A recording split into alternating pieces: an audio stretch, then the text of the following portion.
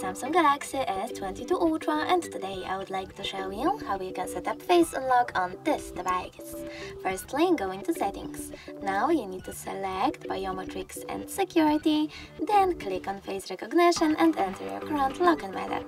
Over here read the disclaimer, just Continue and follow all of those instructions. Remember to keep your face in frame.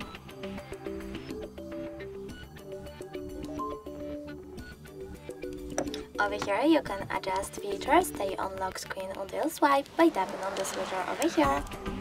And when you're ready, choose done. Now you can adjust all of those settings however you wish to, click home button when you're ready, and then when I turn off my screen, now turn it back on.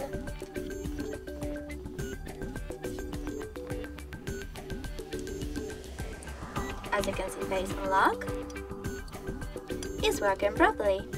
Thanks so much for watching. If you enjoyed this video, smash that like button, comment and definitely subscribe. Bye!